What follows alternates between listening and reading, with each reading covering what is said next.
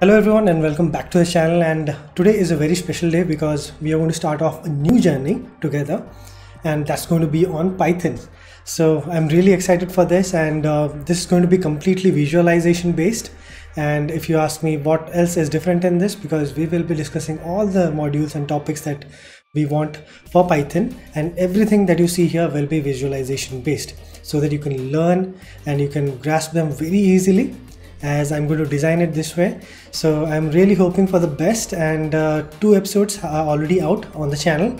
So if you haven't checked them out, please do so. And uh, please let me know how you feel about that. So if you think it was good or bad, or if you have any suggestions or something that you want to give me, then please you can go ahead and give me on the comment section below. And if you did like it, please hit the like button, share it, and do subscribe. Okay, so let's go and watch the first episode.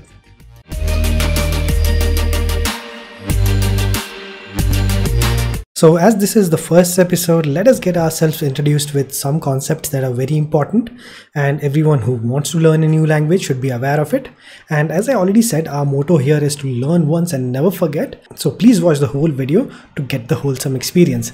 Okay, so this all started with the creator of Python, Guido van Rossum, when he decided to create a Python programming language as a project and it was a successor of the ABC language and this got materialized and released in 1991 and Python is termed to be a high level language and is told to be a general purpose language. So what general purpose programming language means is that it's not constant for a specific requirement or purpose it can be widely used across multiple widespread application domains.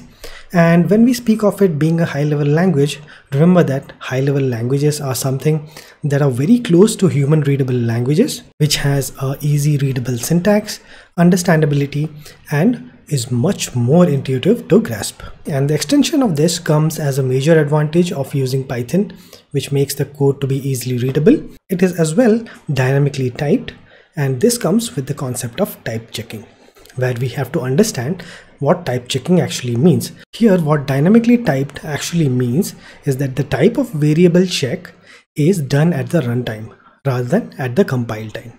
Okay, don't worry about this. We will discuss this in a short while. So keep watching. And another important aspect of Python is that it has an inbuilt garbage collection it implements support for procedural programming, object-oriented and functional programming as well. So you can be sure of doing a lot of things with Python. Okay, so the first version of Python 2 was released back in October 2000 and the one which we will be working on in this particular series that is our Python 3 that got released in December 2008. So now that we have discussed the basics of Python and its good parts, let's jump into the concepts which make up a programming language. So as I've already mentioned, Python is a high level programming language and is more prioritized to be a human readable form. But having said that, machines may not just accurately understand what a human readable language might be. So it must be converted into a low level machine readable form. That is called the low level language. And that is basically done by our compilers.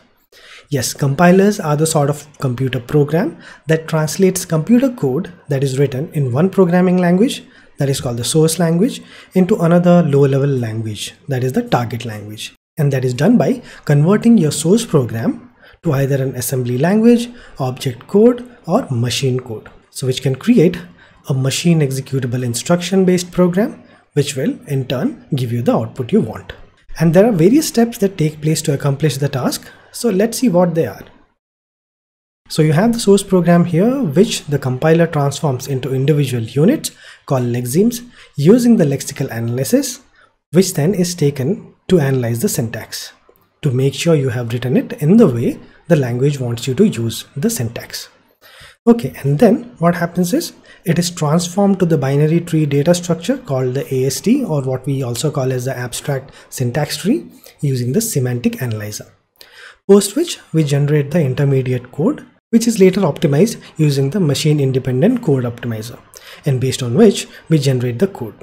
And then we put it back to the machine dependent code optimizer using the three address code pattern. And finally, you have the target code or the machine readable instruction, which can be fed to the machine to process. Here is the happy machine that we have feed me, I'll process this, he's saying. So once you have the target code, you can feed it to the machine so that it can deliver the output. So this surely was a lot of information, but don't worry, we'll discuss them in depth one by one. So if you're ready, let's move on. So before moving to the deep concepts, let's see two things that I want you guys to understand. I know many of you might be aware of it, but what's the harm in learning, isn't it? I hope all of you are aware of the keywords and identifiers, but if you are not, then don't worry, we'll discuss this. So let's see the visualization here. So keywords are the reserve words that every programming language provides to its programmers to use them. In turn, which helps the compiler to understand the program while compilation. For example, if you're using a if loop, the word that you see if is basically a keyword. So if you use a for loop, the word for is a keyword. Okay, I hope you got that. And identifiers on the other hand are the unique names you provide to the variable or function that you want for it to be named. Okay, so let's see the example here. So we have the sample program here where we are defining a function and we are comparing two values x and y and we are printing the result based on that.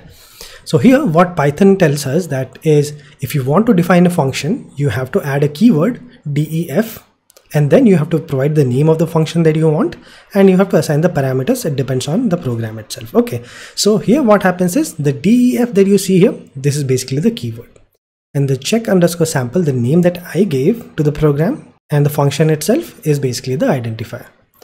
Okay so when we see this in a visualized manner so if you see the def that I have here color that you see here all the matching patterns that the color has all these are keywords.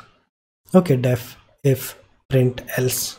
Okay and the other one that we have check underscore sample is basically your identifier which basically identifies that check underscore sample is the name of the function so this is a small example of how different keywords and identifiers are.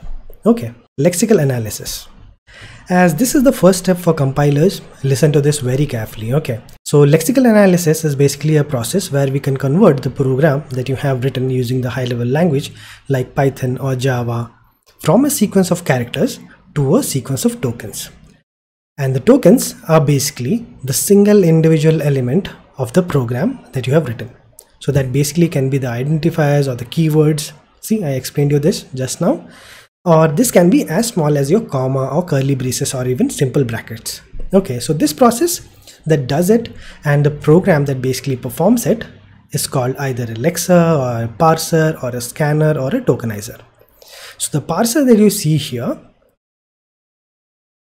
what the parser does, it takes the input in the form of sequence of tokens or program instructions and usually builds a data structure in the form of a parser tree which is then used by the semantic analysis. So the lexer passes the token to the parser that is used for the syntax analysis and gets traversed and stored in the symbol table. Okay, this is a symbol table. And once it processes the token, it gets a new one from the analyzer itself. Okay, so here what you need to remember is that the lexical analyzer breaks the program to the tokens and then feeds it to the parser to consume and to create the syntax analysis and the binary tree. And then once it's done, it asks for the next one. This is not the only thing that lexical analysis is helpful for. It helps us with removing white spaces and comments from the source program. And it also helps us analyze syntactical errors. Okay, so as you know, the white spaces and the comments actually don't play any role in the program execution. So they can be eliminated and that step is taken by the lexical analyzer. So I hope this was informative. Let's move on. So let's see an example here. So we have our sample program here. This is a single line program. So my value is equal to num1 plus num2 plus num3 multiplied by num4. So when you feed it to the interpreter, what happens here is when it goes through the lexical analyzer, it produces a single individual entity that is called the token or lexemes, which is then sent to the semantic analysis. Once you have passed it through the lexical analysis, it creates the lexemes. And this is basically passed to the semantic analysis. So let's see what semantic analysis has to offer. So before semantic analysis, there is one more step that we use to analyze the syntax, which is basically a syntax analysis. So here in syntax analysis, what happens is the token that was generated in the previous step are taken and, and structured together to form an abstract syntax tree. Okay, so let's see the structure that gets generated. So you have your num1 plus num2 plus num3 into num4. So the plus operation takes place first, 12 plus 5. Then the multiplication into 44 and then the plus again. So this is the example of the basic expression tree that gets generated. And Python actually follows a PEDMAS pattern that is basically parenthesis, exponents, division, multiplication, addition, subtraction. Okay, so this basically decides the approach at which the operation should be executed. So here, if there is no syntax errors, then it moves forward to the semantic analysis. So let's check that out now. So here what happens is the analyzer checks for the type of variables that we have and the operation that we are going to perform or basically the operators. So it basically checks that if it is an integer or string or boolean and does the program actually allows executing that operation that you want to perform. Okay, let's suppose the programming language that you have uh, and that you're working on doesn't allow integers to be multiplied with strings, unlike Python, then it will raise the exception here.